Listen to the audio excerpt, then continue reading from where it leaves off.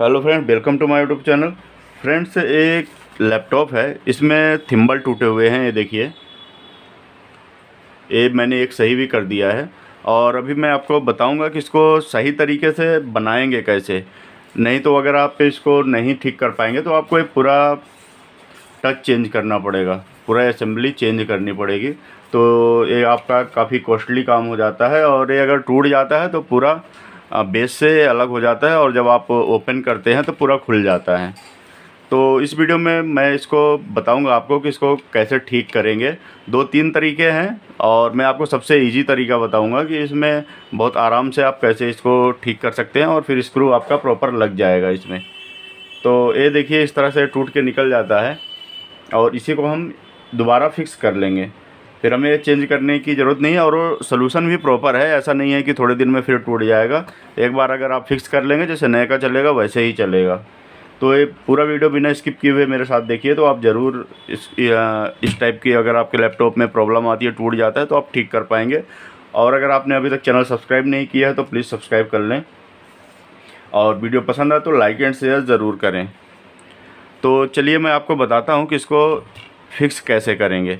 तो इसको देखिए फिक्स करने के लिए दो तीन तरीके हैं। एक तो एम सील से कुछ लोग इसको फिक्स करते हैं मिक्स करके लगा देते हैं लेकिन वो थोड़ा लंबा प्रोसेस है।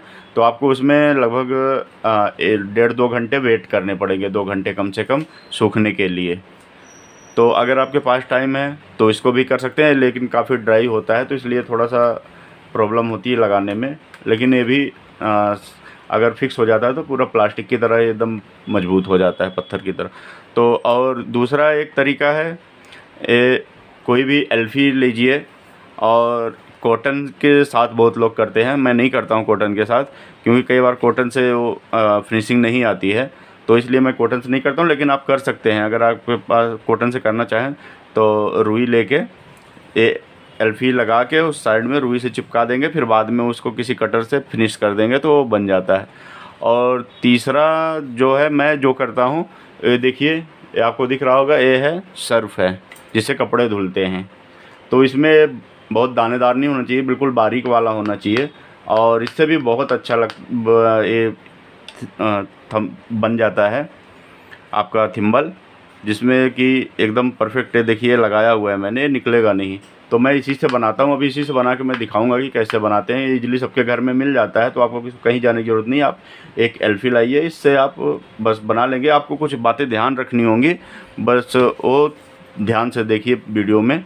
और मैं बता भी देता हूँ कि आपको ये देखना होगा कि इसके अंदर ना जाने पाए। इसके अंदर अगर चला गया तो आपका स्क्रू फिर टाइट नहीं हो पाएगा। फिर आपको इसको उखाड़ना पड़ेगा। तो यही ध्यान देना है। और ऐसा नहीं कि इसमें आप कुछ डाल दें और फिर उसके बाद इसको डालें सर्फ को, क्योंकि अगर डालेंगे डिटर्जेंट को तो उसमें फ़िक्स हो जाएगा क्योंकि थोड़ा जब हम इसके साइड में एल्फी लगाते हैं, थोड़ा बहुत अंदर भी चला जाता है। तो आपको बाहर ही बाहर ऐसे ही लगाना है। इसके अंदर कुछ डाल के, ऐसा नहीं कि इसको हम होल को बंद कर दें, फिर ऊपर से डालें। अगर ऐसा भी करेंगे तो आपको ये श्योर होना पड़ेगा कि इसके अंदर हमारा कहीं वो लिक्विड ना जाए। नहीं तो उसी के साथ जाम हो जाएगा। तो चलिए मैं आपको दिखाता हूँ कि इसको बनाएँगे कैसे। तो ये देखिए, ये मैंने बनाया हुआ है। और ये बनाना है हमें। अब देखिए, सबसे पहले थोड़ा सा यहाँ पर लिक्विड लगा लें, जिससे कि वो थिम्बल चिपक जाए हमारा प्रॉपर बहुत ज़्यादा नहीं, जो टूटा है वहीं पे थोड़ा थोड़ा सा इसको रोकने के लिए बस लगाना है। अब इसमें हमें उल्टा सीधा देखना होता है कि नीचे कौन जाएगा, ऊपर कौन सा। जिधर पतला रहेगा वो अंदर की तरफ़ रहेगा और इधर ऊपर की तरफ़ थोड़ा सा चौड़ा रहेगा। तो इसको इस तरह से ए, इसके बराबर आपको फिक्स करना है।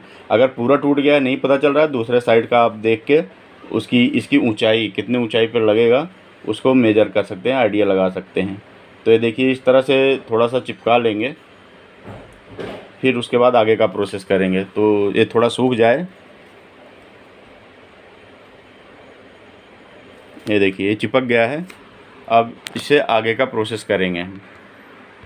अब ये देखिए, इस तरह से इसको उठा लेंगे।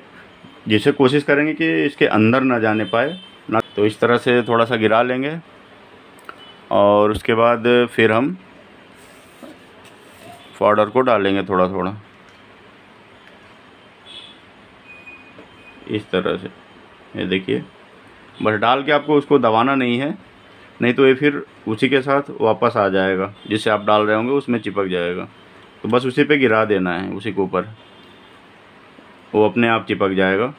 और बाद में इसको जो एक्स्ट्रा रहेगा, उसको गिरा लेना है। या तो अभी मैं बताऊँगा, उसको भी कटर से निकाल सकते हैं आप। इस तरह से। अगर आप इसको ऐसे दबाएँगे तो इसी में लग के वापस निकल जाएगा। तो अब जैसे चिपक गया, जो एक्स्ट्रा होगा, इस तरह से गिरा लें। ये देखिए। इस साइड में लग गया। अभी इसको फिनिश भी कर लेंगे किसी कटर से। और दूसरे साइड में इसी तरह चारों साइड से जहाँ जहाँ से टूटा है, उधर से लगा लेंगे। इस तरह से देखिए, फिर लगा लेंगे, क्योंकि थोड़ी देर में सूख जाता है।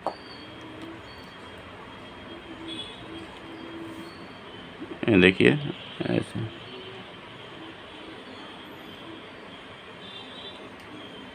और जो साइड में है, वो अभी हम हटा लेंगे तो कोई दिक्कत नहीं आएगी उससे, जो इधर गिरा है सब।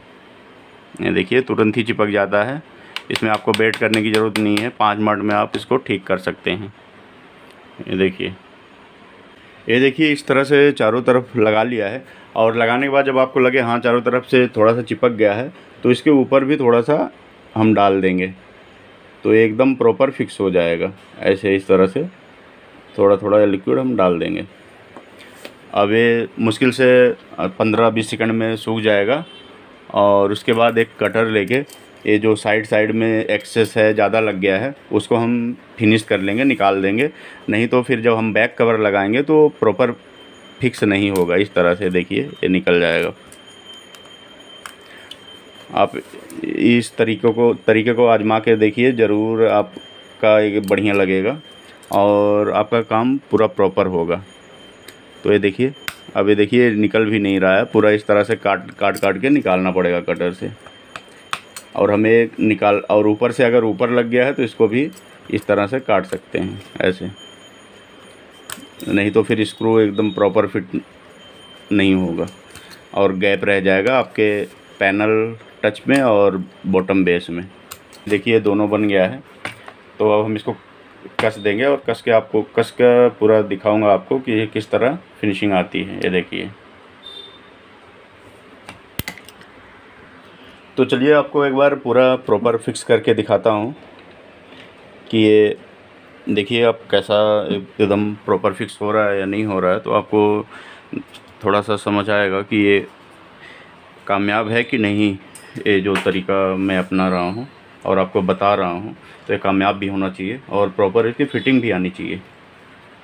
तो ये देखिए, यहाँ पर ये हमने बनाया हुआ है तो स्क्रू लगा के आपको दिखाता हूँ। अब ये बिल्कुल ही टूटा हुआ था, ये देखिए, जो हमने बनाया है। ये देखिए, एकदम प्रॉपर फिक्स हो रहा है। ओवर टाइट ना करें, जितना हो रहा है, उतना करें। बहुत ज़्यादा करने की ज़रूरत नहीं है। नहीं तो अब नॉर्मल वाला भी टूट जाता है। ये तो बनाया हुआ है। लेकिन ये टूटेगा नहीं, इतनी आसानी से। और आपका काफ़ी दिनों तक ये चल जाएगा। तो ये देखिए लगा दिया हमने। दूसरी तरफ़ भी लगा दे रहे हैं। तो यहाँ देखिए, हमने बैटरी को रिमूव करा हुआ है। तो आप भी जब भी इस टाइप का कुछ भी काम करें तो बैटरी सबसे पहले रिमूव कर लें। नहीं तो कई बार शॉर्टिंग हो सकता है कि कहीं इधर लिक्विड आ गया और, या स्क्रू ड्राइवर वगैरह से इधर अंदर कहीं लग गया तो बैटरी की वोल्टेज रहती है तो उससे आपके बोर्ड में शॉर्टिंग हो सकती है। तो इसलिए ध्यान रखें, जब भी कुछ ऐसा काम करें तो बैटरी सबसे पहले रिमूव कर लें। तो ये बैटरी हमने लगा लिया है, अब सबसे लास्ट में फिर बैक कवर लगा के देखेंगे। अब यही देखना होता है, अगर वहाँ आप प्रॉपर फिटिंग नहीं रहेगी, अब जो थिम्बल आपने लगाया है तो यहाँ पे बैक कवर आपका गैप ज़्यादा दिखाएगा। और अगर फिटिंग प्रॉपर रहेगी तो बैक कवर एकदम बिल्कुल प्रॉपर आपका लग जाएगा। तो चारों तरफ़ लगा के, फिर स्क्रू लगा के, फिर चेक करेंगे। तो ये देखिए, इधर टूटा हुआ था, जो ये साइड से खुल जाता था। ये देखिए, एकदम प्रॉपर फिक्स हो गया है। ये देखिए, इस साइड में। तो आप इस तरह से इसको लगा सकते हैं। और फ्रेंड्स, इस वीडियो में इतना ही। अगर ये वीडियो पसंद आया तो लाइक एंड शेयर ज़रूर करें।